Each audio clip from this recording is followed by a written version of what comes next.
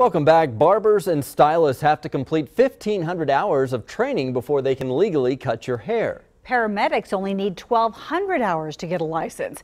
The Oklahoma Attorney General's office is reviewing the boards and agencies that provide business licenses. Two Works for You reporter Giselle Puente is in Midtown Tulsa with some workers who put in a lot of hours to run their salon. Giselle.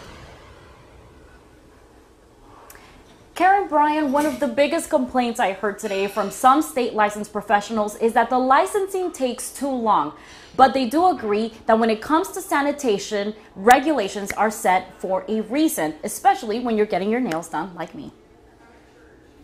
To become a manicurist in Oklahoma, you have to complete 600 hours of training. Same goes for a hair braider. And cosmetologists, 1,500 hours. I do feel like you should have your license I just still feel like it's too long, way too long. Charnay Vick believes the State Board of Cosmetology makes it difficult for people to become licensed. I feel like certain styles you can do and not have to go to school to learn how to do them.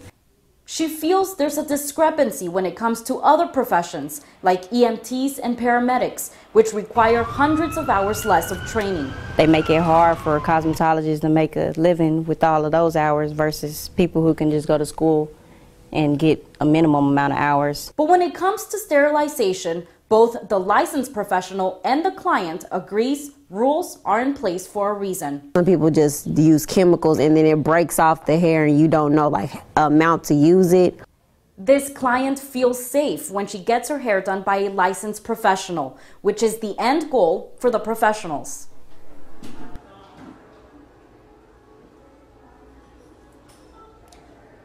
A spokesperson from the Attorney General's office tells me that they have been working very closely with state agencies and boards to ensure that customers are protected through this licensing, but at the same time, not making it too hard on the businesses.